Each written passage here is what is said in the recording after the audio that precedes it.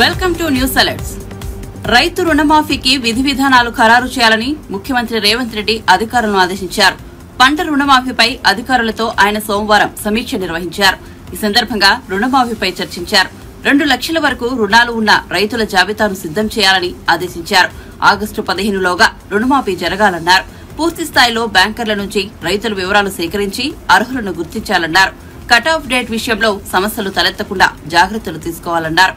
కేవలం బ్యాంకుల నుంచే కాకుండా పిఎస్సిఎస్ నుంచి కూడా పంట రుణం తీసుకున్న రైతుల వివరాలు అందుబాటులో ఉండేలా చూడాలన్నారు. రెండు లక్షల వరకు రుణమాఫీ చేయడానికి పూర్తిస్థాయి వివరాలతో పాటు అవసరమైన అంచనా వ్యయాన్ని రూపొందించాలని ఆదేశించారు. పంద్రాగస్టు నాటికి రైతు రుణమాఫీ చేస్తామని రేవంత్ రెడ్డి లోక్సభ ఎన్నికల సమయంలో హామీ ఇచ్చారు.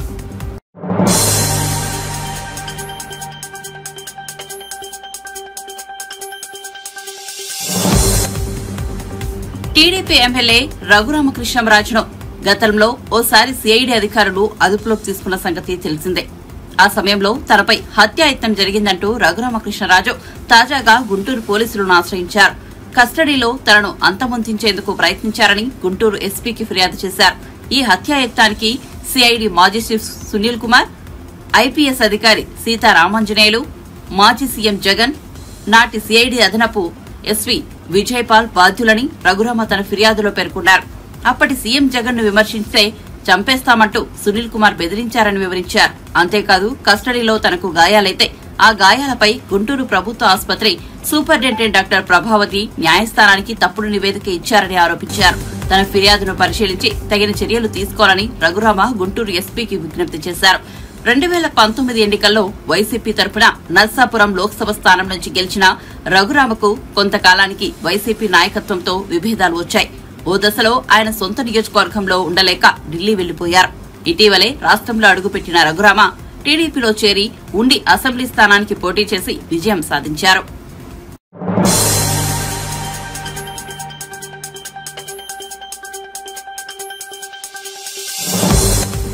నరేంద్ర మోదీ ప్రధాని కాకముందు దేశంలో విద్యుత్ కోతలు ఉండేవని ఇప్పుడు విద్యుత్ కోతలు లేని దేశాన్ని చూస్తున్నామని కేంద్ర మంత్రి కిషన్ రెడ్డి అన్నారు. సోమవారం ఢిల్లీలో ఆయన మీడియాతో మాట్లాడుతూ ముఖ్యమైన శాఖల్లో పాత మంత్రులే కొనసాగుతున్నట్లు చెప్పారు. తెలంగాణ నుంచి ఇద్దరికి కీలక పదవులు వచ్చాయన్నారు. తనకు బొగ్గు గనుల శాఖను బండి సంజయ్కి హోంశాఖ సహాయ మంత్రిని కేటాయించారని తెలిపారు.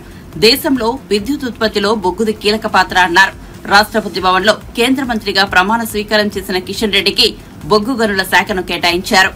అదేవిధంగా ప్రధానమంత్రి గారు నాకు కూడా ఈరోజు చేంజ్ చేసి కోల్ అండ్ మైండ్స్ ఈ రెండు మంత్రిత్వ శాఖలకు సంబంధించినటువంటి బాధ్యతలు coal ministry and mines ministry రెండు మినిస్ట్రీలకు సంబంధించినటువంటి బాధ్యతలు నాకు అప్పగించడం జరిగింది. ఒకటి రెండు రోజుల్లో బాధ్యతలు చేపట్టిన తర్వాత అధికారులతో చర్చించి వంద రోజుల్లో ఎజెండా ఏంటి? రానున్న రోజుల్లో ఏ రకంగా మరి ఈ రెండు మంత్రిత్వ శాఖల గురించి వివరాలు తెలుసుకొని మరి దానిపైన కార్యాచరణ ప్రణాళిక రూపొందిస్తాము. ముఖ్యంగా దేశంలో పవర్ కానీ ఎనర్జీ కానీ వీటికి సంబంధించి కోలే ప్రధానమైనటువంటి కీలక పాత్ర పోషిస్తున్న విషయం మీకు తెలుసు. అనేక దేశ అభివృద్ధిలో బొగ్గు చాలా కీలక పాత్ర పోషిస్తుంది. కాబట్టి దానికి సంబంధించినటువంటి బొగ్గు గనుల కేటాయింపులు కావచ్చు బొగ్గు తవ్వకాలు కావచ్చు వాటి సరఫరా కావచ్చు ఎన్వైరన్మెంట్ పరిస్థితి కావచ్చు పనిచేస్తున్నటువంటి లక్షలాది మంది కార్మికుల సంక్షేమం కావచ్చు ఇవన్నీ కూడా కోల్ మినిస్ట్రీలో చేయాల్సి ఉంటుంది. నాకు పూర్తి విశ్వాసం ఉంది. ప్రధానమంత్రి నరేంద్ర మోడీ గారి యొక్క మార్గదర్శకంలో తప్పకుండా ఈ కోల్ మినిస్ట్రీని సమర్థవంతంగా నిర్వహించాలి. దాన్ని మరింతగా పట్టుదలతో పనిచేస్తానని చెప్పి ఈ సందర్భంగా పనిచేస్తున్నాం చాలా పెద్ద మంత్రిత్వ శాఖ కోల్ ఫీల్డ్కి సంబంధించి కావచ్చు కోల్ ఇండియా కావచ్చు ఇవన్నీ కూడా సమన్వయం చేసుకుంటూ అనేక ప్రైవేట్ సెక్టార్లో ఉన్నటువంటి మరి అనేక సంస్థలు కూడా ఈరోజు బొగ్గు గనులు వారు ఓపెన్ యాక్షన్లో తీసుకొని బొగ్గును ఈరోజు ఉత్పత్తి చేస్తూ ఉన్నారు. వారందరితో కూడా సమన్వయం చేసుకుంటూ దేశంలో కూడా ఎక్కడ కూడా బొగ్గు కొరత లేకుండా చూడాల్సినటువంటి అవసరం ఉంది. అవి పవర్ జనరేషన్ చేసేటువంటి కంపెనీలు కావచ్చు లేక అనేక స్టీల్ తయారు చేసేటువంటి కంపెనీలు కావచ్చు అందరికి కూడా బొగ్గు అవసరము ఉంటుంది. కాబట్టి దీనికి సంబంధించినటువంటి విషయంలో నేను పూర్తిగా అవగాహన చేసుకున్న తర్వాత ఆ పని మొదలు పెడతాను. ప్రధానమంత్రి గారు ఎంతో విశ్వాసంతో మరి ఈ రెండు ప్రధానమైనటువంటి శాఖలు నాకు ఇవ్వడం జరిగింది. అలాగనే ఈరోజు మైన్స్ డిపార్ట్మెంట్ కూడా ఎక్కువ రాష్ట్ర ప్రభుత్వ ఆధ్వర్యంలో మైన్స్కి సంబంధించినటువంటి ఇసుక నుంచి మొదలు పెడితే అనేక రకాల మైన్స్ మైనింగ్ చేసేటువంటి బాధ్యత రాష్ట్ర ప్రభుత్వాల మీద ఉన్నది. అన్నిటి కూడా ఇసుక ఆ యొక్క రాష్ట్ర ప్రభుత్వాల ఆధ్వర్యంలోనే అనుమతులు ఇస్తారు. కానీ కొన్ని ఇతర ఖనిజాలు ఏవైతున్నాయో వాటన్నిటిని కూడా మరి తవ్వకాలు చేయాలన్నా వాటికి సంబంధించినటువంటి ఉత్పత్తులకు సంబంధించి మరి అనేక రకాల పాలసీ తయారు చేసేటువంటి విభాగమే ఈరోజు మైన్స్ శాఖ. దాని ద్వారా కూడా మరి ఈరోజు మరి దేశానికి చాలా ఉపయోగపడేటువంటిది ఈ రెండు శాఖలు కూడా దేశంలో ఎనర్జీ పవర్ సెక్టార్తో పాటు దేశానికి రెవెన్యూ తీసుకొచ్చేటువంటి శాఖలు ప్రభుత్వాలకు ఆదాయ వనరులు తీసుకొచ్చేటువంటి శాఖలు. తప్పకుండా అటు రాష్ట్ర ప్రభుత్వాలకు కానీ ఇటు కేంద్ర ప్రభుత్వాలకు కానీ మరి కేంద్ర ప్రభుత్వాన్ని కానీ ఆదాయం పెంచే విషయంలో మరి ఎక్కడ కూడా మరి గతంలో ఉన్నటువంటి మంత్రి గారు మరి ప్రహ్లాద్ జోషి గారు చాలా సమర్థవంతంగా పనిచేయడం జరిగింది. మీకు అందరికీ తెలుసు నరేంద్ర మోడీ గారు లేకముందు దేశంలో విద్యుత్ కోతలు ఉండేది కారణము బొగ్గు అందుబాటులో లేకపోవడం బొగ్గు సరఫరా లేకపోవడం కారణంగా దేశంలో విద్యుత్ కోతలు ఉండేది నరేంద్ర మోడీ గారు వచ్చిన తర్వాత చాలా పెద్ద ఎత్తున మరి ఈరోజు బొగ్గు ఉత్పత్తి చేయడం ద్వారా కోల్ ప్రొడక్షన్ పెంచడం ద్వారా ఈరోజు విద్యుత్ కోత లేనటువంటి నూతన భారతాన్ని నరేంద్ర మోడీ గారు ఆవిష్కరించారు. అన్ని రాష్ట్రాలలో కూడా ఈరోజు పవర్ గ్రిడ్ కనెక్టివిటీ పెంచి ఈరోజు విద్యుత్ కోత లేని దేశంగా నిర్మాణం చేయడం జరుగుతుంది. తప్పకుండా ఆ దిశలోనే మేము రా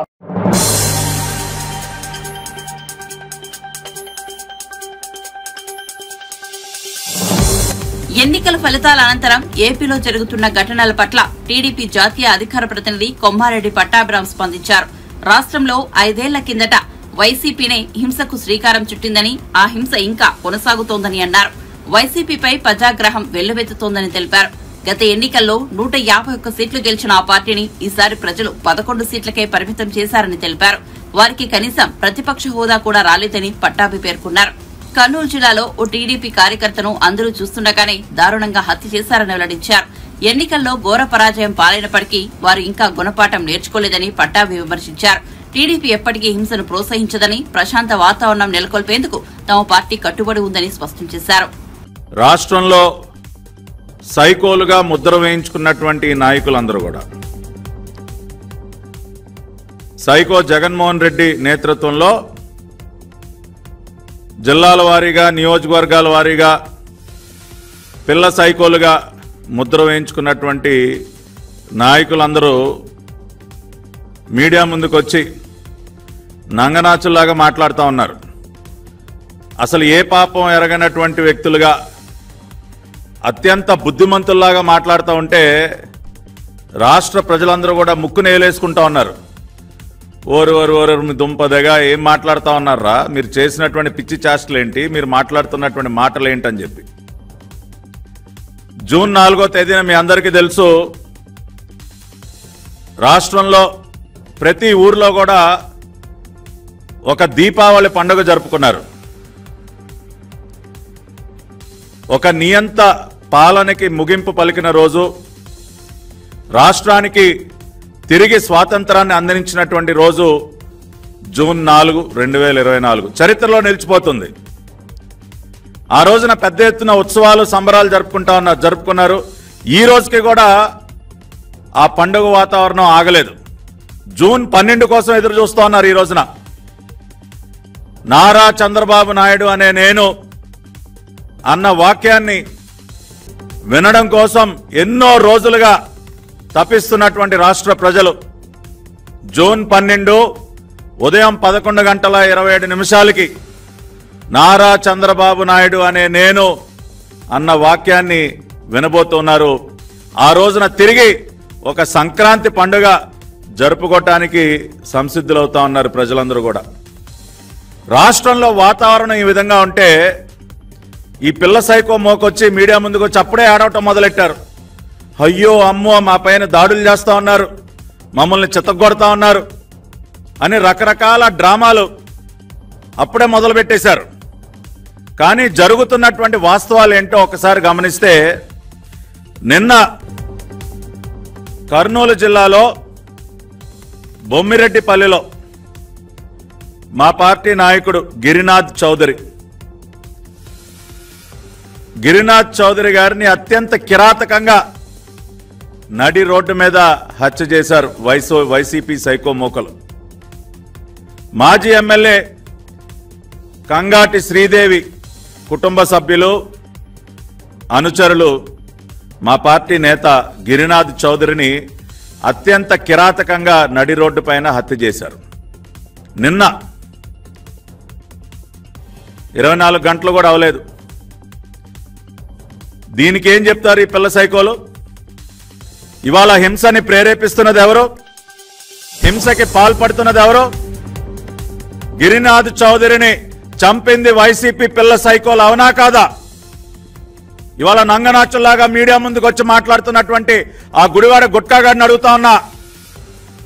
ఎరా కొడాలి నాని ఎవర్రా చంపింది? గిరినాథ్ చౌదరి అనే తెలుగుదేశం పార్టీ నాయకుడిని ఎవరు చంపింది? మీ పార్టీ సైకో మొక్కలు కాదా?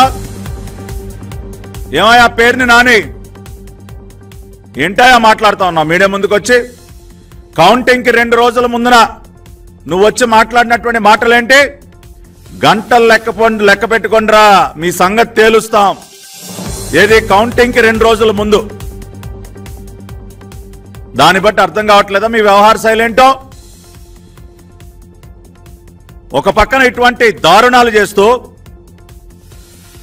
ప్రజలు మక్కిలరగొట్టి మిమ్మల్ని మోకాళ్ళ మీద నుంచోబెట్టిన పదకొండు సీట్లతో మిమ్మల్ని మోకాళ్ళ మీద నుంచోబెట్టారు ఈ రాష్ట్రంలో. ప్రజా తీర్పు ఆ విధంగా ఉన్నా కూడా ఇంకా బుద్ధి తెచ్చుకోకుండా ఈ సైకో చేష్టలు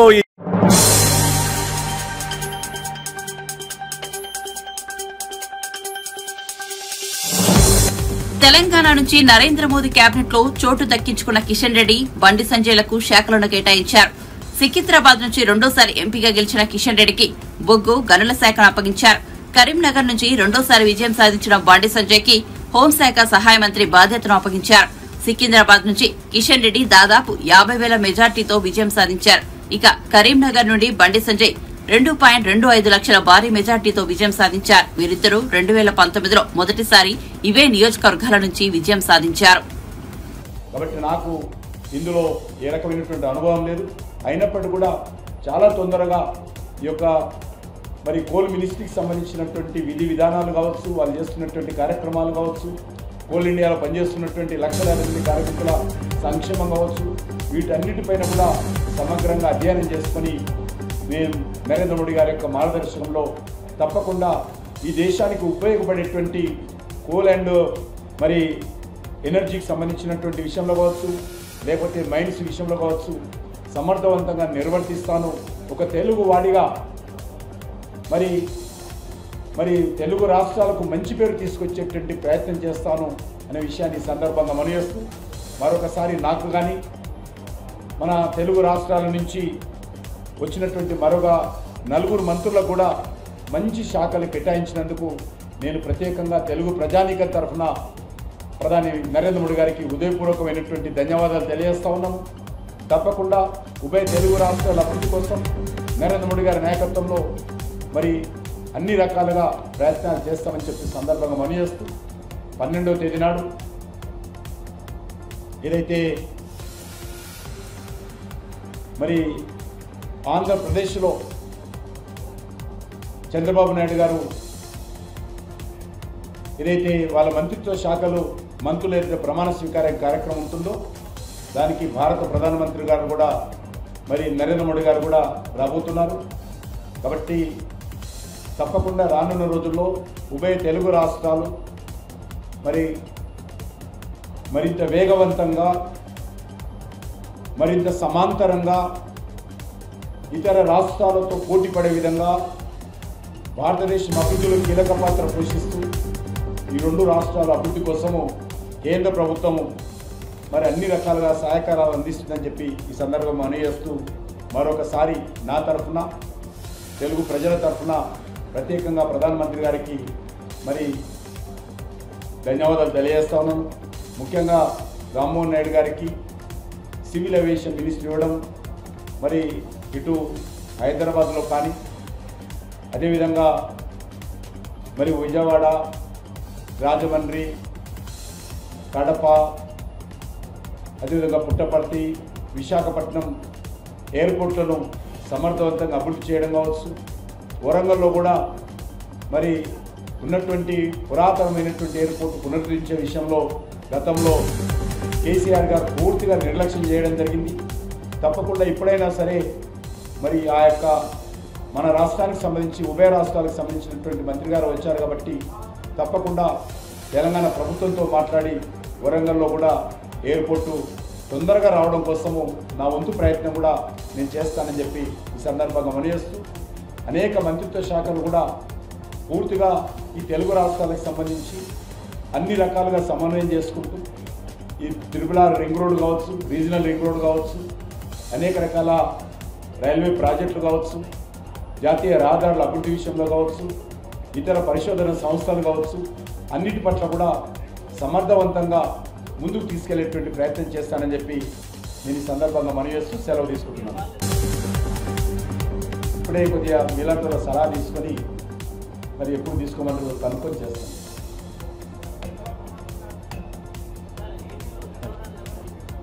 వెళ్తాను.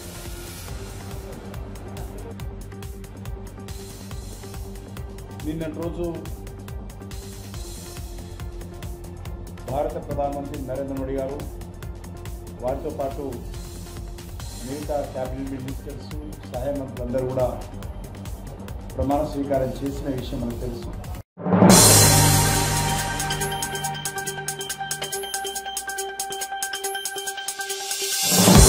ఎన్డీఏ త్రీ పాయింట్ జీరో మంత్రివర్గ సభ్యులకు శాఖలు కేటాయించారు. టీడీపీ యువ ఎంపీ కింజరపు రామ్మోహన్ నాయుడికి పౌర విమానయాన శాఖను అప్పగించారు. టీడీపీ తరపున కేంద్ర మంత్రివర్గంలో రామ్మోహన్ నాయుడు పెమ్మసాని చంద్రశేఖర్ చోటు దక్కించుకున్న సంగతి తెలిసిందే. ఏపీ నుంచి బీజేపీ తరపున నరసాపురం ఎంపీ భూపతిరాజు శ్రీనివాస్ వర్మకు కూడా కేంద్ర కేబినెట్లో స్థానం లభించింది. పెమ్మసాని చంద్రశేఖర్కు గ్రామీణాభివృద్ది శాఖ సహాయ మంత్రి పదవి కేటాయించారు. శ్రీనివాస వర్మకు భారీ పరిశ్రమల శాఖ సహాయ మంత్రి పదవి లభించింది. నిన్న ప్రమాణ స్వీకారం చేసినటువంటి రామ్మోహన్ నాయుడు గారు సివిల్ అవియేషన్ పౌర విమానయాన శాఖగా వారు మరి కేటాయింపు చేయడం జరిగింది వారికి. అదేవిధంగా సహాయ మంత్రిగా ప్రమాణ స్వీకారం చేసినటువంటి బండి సంజయ్ కుమార్ గారికి హోంశాఖ సహాయ మంత్రిగా వారికి శాఖ కేటాయింపు చేయడం జరిగింది. అదేవిధంగా చంద్రశేఖర్ గారు గుంటూరు నుంచి వచ్చినటువంటి వారికి గ్రామీణాభివృద్ధి అండ్ కమ్యూనికేషన్ మంత్రిత్వ శాఖలు వారికి సహాయ మంత్రిగా వారికి కేటాయింపడం జరిగింది. అదేవిధంగా శ్రీనివాస్ వర్మ గారు ఎవరైతే నరసాపురం నుంచి పార్లమెంట్ సభ్యుడిగా నేను గెలిచి నిన్న సహాయ మంత్రిగా బాధ్యతలు చేపట్టారో.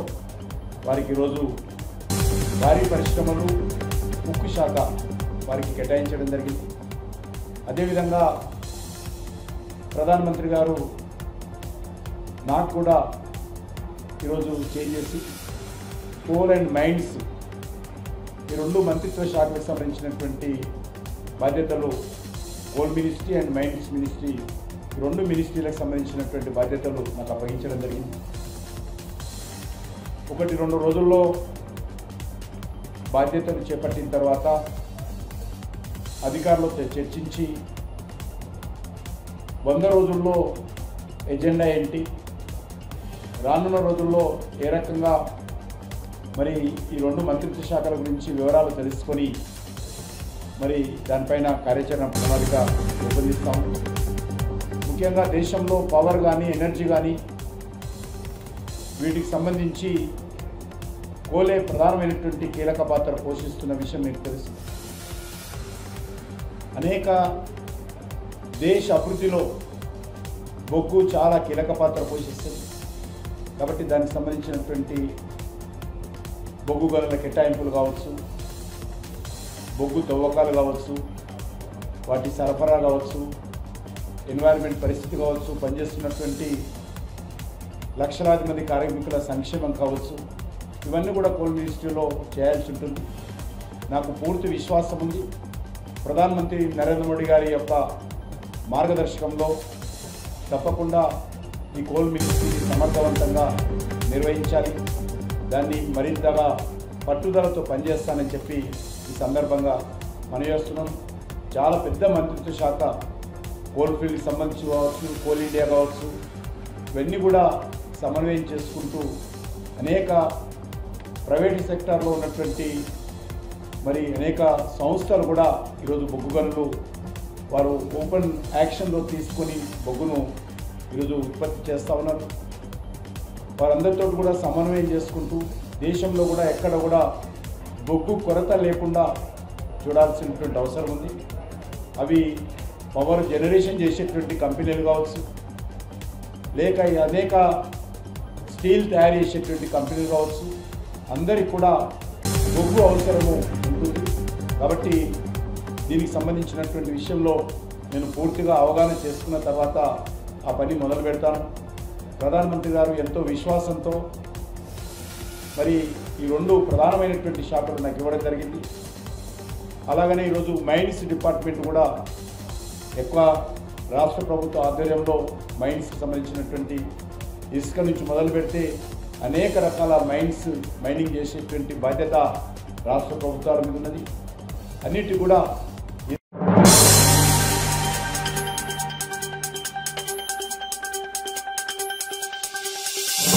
సార్వత్రిక ఎన్నికల ముందు టీడీపీని వీడి వైసీపీలో చేరి ఎన్నికల్లో సొంత తమ్ముడి చేతిలో ఘోరంగా ఓడిపోయిన విజయవాడ మాజీ ఎంపీ కేసినేని నాని రాజకీయాల నుంచి తప్పుకుంటున్నట్లు ప్రకటన చేశారు. ఇంతటితో తన రాజకీయ ప్రస్థానం ముగిసిందని వెల్లడించారు. అనేక అంశాలను వివిధ వైపుల నుంచి వచ్చిన ప్రతిస్పందనలను జాగ్రత్తగా గమనించడం మీదట ఇక రాజకీయాలకు స్వస్తి పలుకుతున్నానని తెలిపారు. రెండు పర్యాయాలు విజయవాడ ఎంపీగా ప్రజలకు సేవ చేయడాన్ని తనకు దక్కిన గొప్ప గౌరవంగా భావిస్తారని కేసినేని నాని పేర్కొన్నారు. విజయవాడ ప్రజల స్థైర్యం వారి దృఢ సంకల్పం నాకు స్ఫూర్తినిస్తాయి. వారి అంచనాలపైన మద్దతుకు నేను హృదయపూర్వకంగా కృతజ్ఞతలు తెలుపుకుంటున్నాను. నేను రాజకీయాల నుంచి తప్పుకుంటున్నప్పటికీ విజయవాడపై నా అంకిత భావం బలంగానే ఉంటుంది. విజయవాడ అభివృద్ధికి నేను చేయగలిగినంత సాయం చేస్తూనే ఉంటాను. ఇప్పుడు నా జీవితంలో మరొక అధ్యాయం మొదలవుతోంది. ఎంతో విలువైన జ్ఞాపకాలను అమూల్యమైన అనుభవాలను నాతో తీసుకెళ్తున్నాను. విజయవాడ అభివృద్ధి కోసం పరితపించే కొత్త ప్రజాప్రతినిధులకు నా శుభాకాంక్షలు. పదేళ్ళ పాటు సేవలు అందించే అవకాశాన్నిచ్చిన విజయవాడ ప్రజలకు మరొకసారి హృదయపూర్వక ధన్యవాదాలు తెలుపుకుంటుంటాను అంటూ కేసినేని నాని తన ప్రకటనలో పేర్కొన్నారు.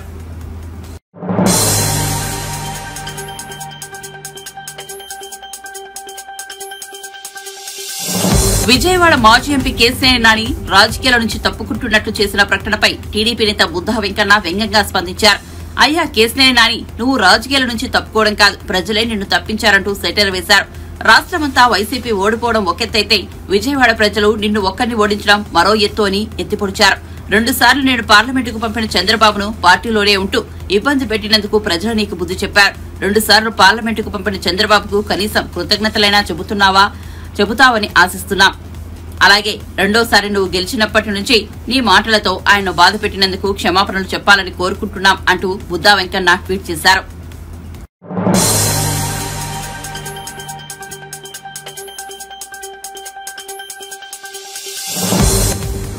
విశాఖ శారదాపీఠం అధిపతి స్వామి స్వరూప నందేంద్ర సరస్వతి మీడియా ముందుకు వచ్చి తాము రాజకీయాలకు దూరమని తాము ఏ ప్రభుత్వంలోనూ తల దూర్చబోమని చెప్పారు. నాలుగేళ్ళ తర్వాత ఇవాళే మీడియా ముందుకు వచ్చారని వెల్లడించారు. అయితే స్వరూపానంద వ్యాఖ్యలపై ఏపీ సాధు పరిషత్ నేత శ్రీనివాసానంద సరస్వతి నిప్పులు చెరిగేలా స్పందించారు. పవిత్రమైనటువంటి ఆ పవిత్రతని నాశనం చేసేటప్పుడు ఈ విశాఖ శారదా పీఠాధిపతి స్వరూపానంద గారు మీరు ఏమయ్యారు మీరు హిందూ ధర్మం కోసం కట్టుబడి ఉన్నామని చెప్పడానికి సిగ్గుపడాలి. మీలాంటి వాళ్ళు కాషాయం కట్టుకున్నందుకు హిందువులందరూ కూడా సిగ్గుపడుతున్నారు. స్వామీజీలు మేము ఎలాగా బాధపడుతున్నాం? యోగ్య యోగ్యత లేని వ్యక్తులు అర్హత లేనటువంటి వ్యక్తులు కాషాయం ఒక ధర్మానికి ప్రతిరూపమని నా ప్రజయ నా ధనేన త్యాగే నైకో అమృతత్వ మానసు ఉపనిషత్తులు ఈ కాషాయాన్ని గౌరవిస్తూ శ్లాఘిస్తూ ఉన్నాయి. త్యాగానికి ప్రతిరూపం కాషాయం. ధర్మాన్ని రక్షించే ఒక ప్రతిరూపంగా కాషాయాన్ని మనకు ఋషులు అందించారు. అటువంటి ధర్మాన్ని రక్షిస్తాము. హిందూ సనాతన ధర్మ వైభవాన్ని కాపాడుతాము. మా ఋషి పరంపర మా ఆలయాలు మా గోవులు దేవస్థానాలు దేవాలయ భూములు ఇవన్నీ కూడా సనాతన ధర్మంలోకి వస్తాయి. వీటి వీటన్నిటికీ కూడా ప్రతినిధులుగా కాషాయం కట్టుకున్నటువంటి స్వామీజీలు ఆశ్రమాలు పెట్టుకొని ఉండాల్సినటువంటి తరుణంలో ఈ కాషాయానికి సిగ్గు తెచ్చి పెట్టారు మీరు. కాషాయం అంటే హిందూ సమాజం చేదరించుకునేటట్లుగా. అంటే ఇలాంటి వాళ్ళు కూడా స్వామీజీలేనా? వీళ్ళకి ధనార్జన తప్ప ధర్మం పట్టదా? హిందుత్వానికి ఇన్ని కష్టాలు వచ్చేటప్పుడు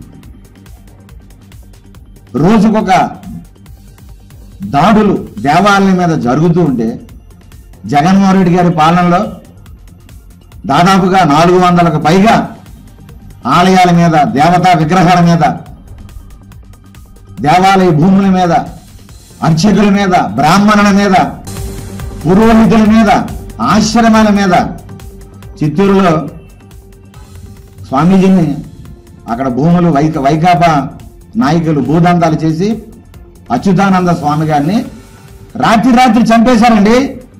ఏం స్వరూపానంద ఎక్కడికి పోయావు నువ్వు ఇలాంటి కాషాయ స్వామీజీల మీద హత్యలు చేస్తే ఆ రోజు మీ నోరేమైంది ఆ రోజు నీ పీఠం ఏమైంది? ఆ రోజు ఎక్కడికి పోయావు నువ్వు? ఒక స్వామీజీని వైకాపా ప్రభుత్వంలో ఈ ప్రభుత్వ హయామంలో పక్కా ప్లాన్తో స్వామిని అత్యంత దారుణంగా చంపేస్తే ఒక్క ప్రెస్ మీట్ పెట్టావు నువ్వు? సిగ్గు లేనటువంటి కాసాయి ముసుగు వేసుకొని ఇంకా నాటకాలు ఆడుతావా? ఇదని పీఠం తాలూకా ధర్మం. రామతీర్థం. మీ విశాఖ శారదా పీఠానికి ఎంత దూరంలో ఉన్నాయా రామతీర్థంలో రాముడికి శిరస్సు ఖండిస్తే ఏక తొలగించేస్తే కోట్లాది మంది దేశ దేశాల్లో హిందువులందరూ రామభక్తులు కన్నీరు పెడితే నువ్వు కరిగావా నువ్వు? నీది ఒక పీఠం నువ్వు ఒక స్వామివి. నువ్వు ఒక కాషాయ బట్టలు కాషాయ దండాలు కాషాయ అంబరదారులు. సిగ్గు లేదయ్యా? శ్రీరంగ నీతి చెప్తావు ఇప్పుడు. అంటే ఇప్పుడు నిన్ను నీకు భయం వచ్చేసింది. నిన్ను త- ఇప్పుడే ఇప్పటికే నీకు హిందువులందరూ కూడా ఛేదరించుకొని ఈయన హిందూ ధర్మానికి ద్రోహి హిందుత్వాన్ని మంట కలుపుతున్నాడు ఈయన. ఈయన స్వామి కాదు ఈయన ఒక వ్యాపారస్తుడుగా ఒక భూ కబ్జాదారుడుగా ఒక సెటిల్మెంట్ చేసుకునేటటువంటి ఒక దీనాది దీనమైన స్థితిలో ఉన్నాడని హిందూ సమాజం చేదరించుకొని పిలవడం మానేసింది ఎక్కడికి కూడా ఏ కార్యక్రమాలకి. ఆ పీఠాన్ని చూస్తే ప్రతి హిందువుడు కూడా పీఠాన్ని చూసి అందరూ కూడా ఉమ్మి వేసేస్తూ ఉన్నారు. నువ్వు చేస్తున్నటువంటి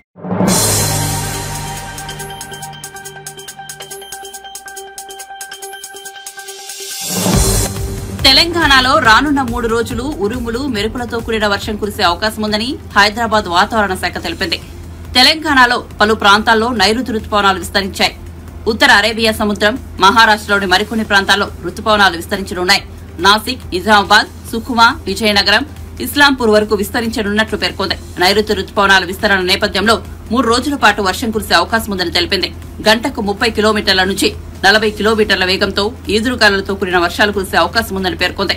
నల్గొండ సూర్యాపేట రంగారెడ్డి వికారాబాద్ సంగారెడ్డి మహబూబ్ నగర్ నాగర్ కర్నూల్ వనపర్తి నారాయణపేట గద్వాల జిల్లాలో వర్షం కురిసే అవకాశం ఉందని తెలిపింది.